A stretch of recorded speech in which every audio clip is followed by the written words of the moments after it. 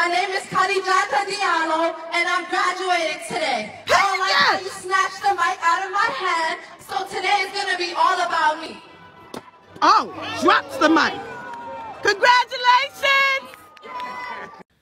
All right, guys. So we got to talk about a story that is going viral, mega viral, featuring a black woman who decided to take the mic from a person that's officiating a graduation because she felt like there was some type of racism that was being done towards her because she was not allowed to speak as long as she wanted to speak at graduation, I guess before receiving her diploma. Again, I'm not sure exactly how this graduation uh, was supposed to go in regards to whether or not people are allowed to speak or how long they're allowed to speak or whatever. But apparently, she felt slighted. She felt like there was some racism done towards her.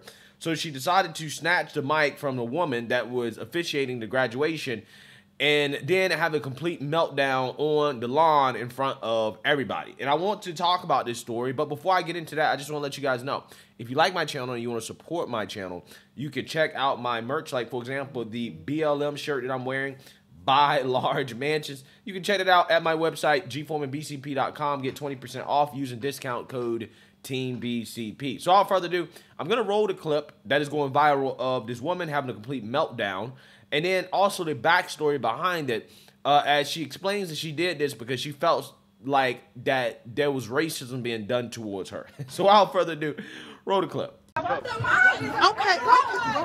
go. Let go. You didn't let me get my moment, so I want to say my name is Khadijata Diallo, and I'm graduating today. I don't like how you snatched the mic out of my hand, so today is going to be all about me. Oh, drops the mic. Congratulations! Here's my story time. Basically, what happened was um, I was walking on, and we had to announce our names and say our name before we get on the stage. So I was saying my name, and she literally. I was, my name is long. My name, I obviously, I have like three syllables in my name. I'm not gonna say exactly my name right now, but okay, just so you get a point. So I didn't even finish getting to say my name. And then the people that went before me and everything, they all got to say their name, their major, and even extras. And me and another girl noticed that she was putting the mic, she was pulling the mic down super fast for some black people. I don't want to be that person, but that was the team. So, I mean, I just couldn't let her I just couldn't let that happen because I just feel like I worked so hard to graduate and went through so much shit to graduate that I just felt like I had to reclaim my moment. I'm sorry. Like, I'm not a problematic person. I don't want to ruin no one's day. I don't want to violate anybody, but that's what she did. She didn't even let me finish speaking. She put the mic down, cut me off, and that was the only time I was able to speak. So I just feel like that wasn't right yeah, so you seen that, you heard that. That's her side of the story. Now, before I get into how I feel about this, uh, I want to play clips of people who are basically condoning this type of behavior, letting her know that, yes, girl, you did the right thing. You shouldn't take no disrespect, yada, yada, yada, blah, blah, blah, blah, blah. They're always trying to take away our moment. The world is racist. Everybody hates us because we're black, right? That's what people basically are saying in response to this. Take a look. Just want to say, I love to see it. I'm, I'm, I'm glad she did that because I'm so sick of this genre of palm color racist people that want to steal monumental milestone moments away from black people. People work so hard to graduate. People work so hard to hit these milestones and you get joy out of diminishing that for a black person. I am sick of it, y'all. I'm so glad she shook that woman up because that's what we needed to be done. Because y'all be playing with us too much. Stop playing with us.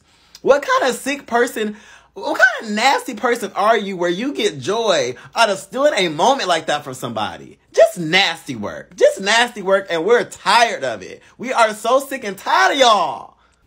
First off, to that young lady, congratulations, kudos. You ain't did nothing wrong. For y'all seeing her making videos, talk about she need to know how to conduct herself, and she could have been acting in a different way so they won't be looking at us crazy. Who the fuck is they?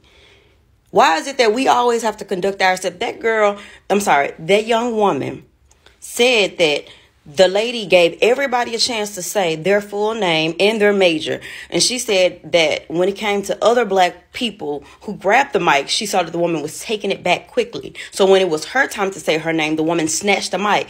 Just like these people be snatching the moments of black people in their graduations, like the young boy who couldn't graduate because of his dreads, like the young girl couldn't graduate because people in the crowd laughed when she did the giddy, griddy or whatever. It's moments like this that other people take away from us that we want to step back and judge how we react. You do something to me. Had that been me, yes, I probably would have done the same thing because if I'm graduated, I'm very proud of what I'm doing and you allow me time to speak and say my name and you snatch it, bitch, I'ma snatch it back. I can't stand y'all get on this app talking about, oh, she need to learn how to conduct herself. According to who? Who laid rules down for anybody to learn how to conduct themselves? You snatch, that lady should have learned how to conduct herself. Okay? And if there was a time limit, she could have said it's a time limit. But it wasn't apparently according to the young woman who had the mic snatched from her. This is so, oh my goodness. Baby, kudos to you. Congratulations. I hope you succeed in every endeavor that you endure. Well, the unfortunate reality is that with that video now on the internet, it's going to be a lot harder for her to succeed because if I am an employer and I see that type of behavior, there's no way I'm hiring her, right? Which is exactly why this was stupid. This is why this was so dumb, and it's even dumber that you have idiots on the internet out here defending this type of behavior over perceived racism. Okay, okay. I want you guys to understand this woman's story. I'm not saying that it ain't true. All I'm saying is this. She says that, well, I felt like when all the black people went on stage or was up to speak or whatever, she was taking the mic down real quickly from the black folks. now, that's her perception. Whether or not that was actually reality is a whole different story. We really don't know. It's just amazing to me how when these videos come out, the only moment that you see is the moment in which she snatched the mic from the lady. Uh, they forgot to post the rest of the video before where you can see, okay, was she actually allowed to say her whole name? Right? Uh, or is this just something that, again, she felt like some slight was done to her because she wasn't allowed to say everything that she wanted to say? Okay? Which, again, I've seen some comments in the comment section like this one right here from this person uh, S. Morale Angelus. Okay, this person said they was at the graduation ceremony. Now, again, I'm not sure if they were actually there. This is just what they're saying in the comment section, and this is their side of the story in regards to why the mic was pulled down so fast. Uh, this person says, "I was there at." The ceremony, I was one of the graduates. This is extremely uh, embarrassing and unprofessional. The creator says, What exactly happened? Uh, she is stating false claims. No one was allowed to say their majors or extras, just their name, which explains the mic being lowered uh, so fast. The mic was lowered after saying your name. There was about a thousand students or more there, so it needed to be quick. We were only allowed to say our names. No one said their majors or extras, which would be the main reason as to why the professor lowered the mic. So students uh, could keep on walking. So they did this to everyone. They never single out a single person who tried to say their name only. Yeah. So again, this is a random person's testimony and saying that they was there. Now, do I know if they was there? No, I don't know if they was there. But I'm just saying there are counter stories here that explain why this professor lowered the mic quickly in which this person may have felt slighted because in, in, my opinion if i had to guess just based off what i've been seeing if i had to guess this is the type of person that like the last story i did yesterday uh, about the two uh, gay black men that was in uh, bed bath beyond buying high ticket items uh, they got the police called on them because they were suspected of shoplifting they're looking for racism, right? You're looking for racism where there is no racism. You're looking for micro uh, aggressions. You're looking for transgressions that are being done against you because you want to be a victim, right? You want to have your moment, right? Where you can go viral and get all the attention that you think you deserve, okay? Because you think that you're a victim, right? That's what's going on here. And some people disagreed with me yesterday when I did that story about those two black men talking about how oh it's embarrassing to have the police called on you and yada yada yada and i'm sitting here like well nobody would have known that these two were suspected of shoplifting if they didn't make a big deal about it, right? Because nobody approached them and told them that, hey, we think you're shoplifting. They only found out, they only knew because they overheard the police saying, yeah, I don't think they're stealing anything. But otherwise, nobody would have said anything to them. They would have known that, hey, they were suspected of shoplifting. They would have been let go. Nothing would have happened to them despite being black, right? Because the narrative is that if you're black, you know, uh, when you get a police called on you, uh, then apparently, you know, you get beat up or you get killed or something like that. None of that happened, right? They were let go once it was obvious and clear that, hey, yeah, they're buying this stuff. But they wanted to make a big deal out of it. They wanted to make more out of it than what it is. And that's what's happening right now, right? This lady is, I think, making a lot more out of this than what it, it is.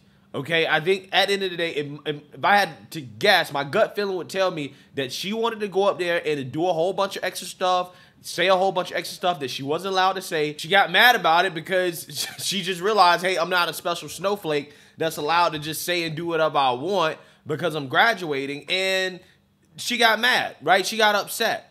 And then she wanted to throw a temper tantrum and make it all about her because, again, it's all about her. These people are entitled. They're entitled, okay? And they will use any small little micro transgression or aggression that happens towards them, call it racism, and then try to uh, use that to justify inappropriate behavior, right? This is not a good look right? And the people out here that are defending this stuff, again, you're not looking out for our best interest. Because again, what happens is, is that people see this, employers see this type of stuff. They say, yeah, I'm not gonna hire this type of person, right? They're gonna start to look at her social media. They're gonna see that, oh, this person is a little ratchet, right? We're gonna stay away from these type of people because again, clearly this person is not a very professional person. They don't know how to handle conflict, okay?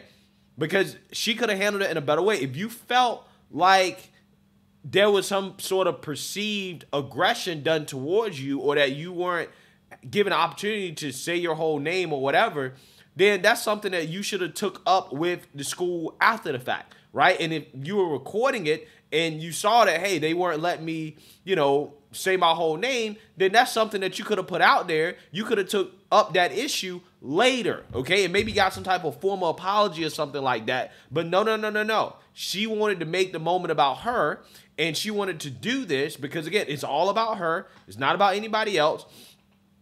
And she went out there and she did that. She snatched the mic from that lady and then threw it down and made a complete and total fool out of herself. So I want you guys to understand the perpetual cycle here, right? That leads to degeneracy, right? The black victimhood cycle, which is a black person perceives a real or imagined injustice.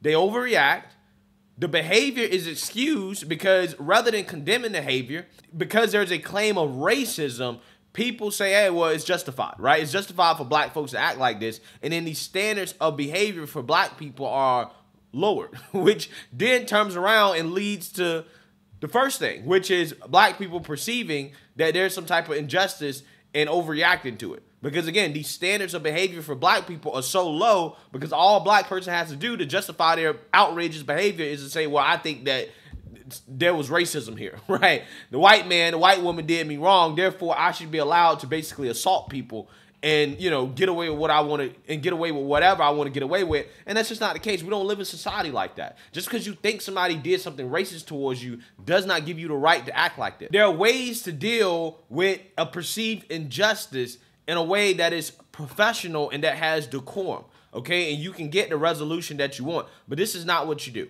right? This is not what you do in any scenario like this and again, this is embarrassed. This type of behavior should be condemned. And because it's not being condemned, this is the reason why black folks are in the situation they're in. This is why so many stereotypes against black people exist, is because of stuff like this. And then black people turn around and defending it and saying it's okay for you to act this way. Because any other race of people would say, no, it's not okay for you to act this way. There are other ways in which you can handle this type of situation uh, without embarrassing yourself in public at the graduation. This is why they don't allow the extra stuff at the graduation. This is exactly why they don't allow you to dance and for you to do all this other stuff that you want to do at graduation is because of stuff like this. This is exactly why. Because every single time you people want to make more out of it than what it is, and then you end up embarrassing yourself once people tell you to calm down or that, hey, you can't do this or that you're not a special snowflake. So, like I said, man, at the end of the day, again, another embarrassing moment here for black folks because people are defending it, okay, more than anything. And this has to change. This has to change. You cannot continue to use perceived racism as an excuse to act a fool and to do stuff like this that is embarrassing, not just to yourself, but to your family and to black people as a whole. I'm sick of it. Let me know what you guys think. Make sure you like, comment, and subscribe. Most importantly, share a black conservative perspective. Peace.